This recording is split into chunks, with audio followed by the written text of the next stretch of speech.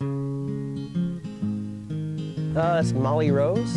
It's, uh, it's one of my latest ones. It's, a, it's all about a first date I went on, and I just haven't stopped going on it yet. Molly Rose, walking down the back streets of Manson while the fireworks explode.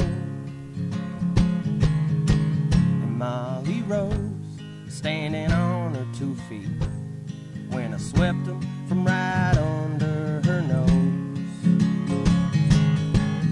He was just bright enough from the lamplight on the streets, and gunpowder filled the air.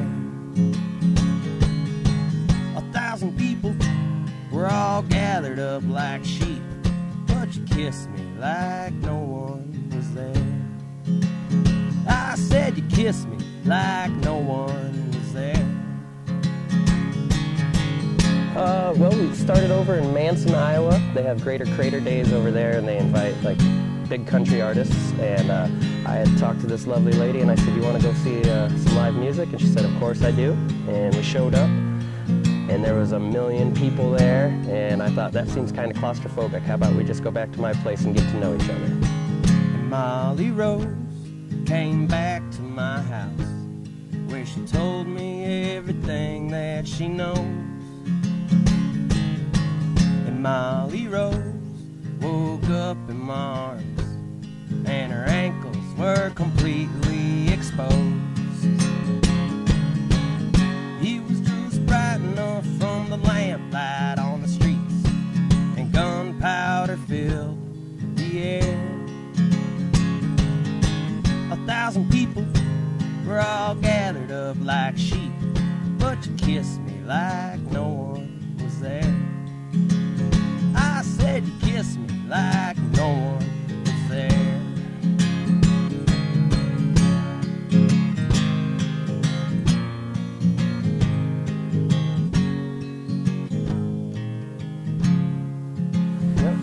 Uh, so yeah, uh, the song isn't all that important. The person it's written about is. Uh, she's wonderful, and it's basically just three chords and the truth, like everything else I do. Molly Rose, standing barefoot on the grass, with a halo that matches her soul. And I suppose there's nothing I need except this guitar and Miss Molly Rose. He was just bright enough from the lamplight on the streets, and gunpowder filled the air.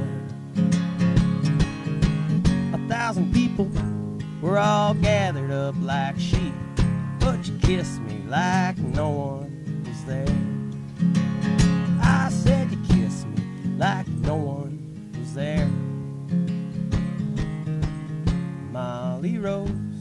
Walking down the back streets of Manson while the fireworks explode.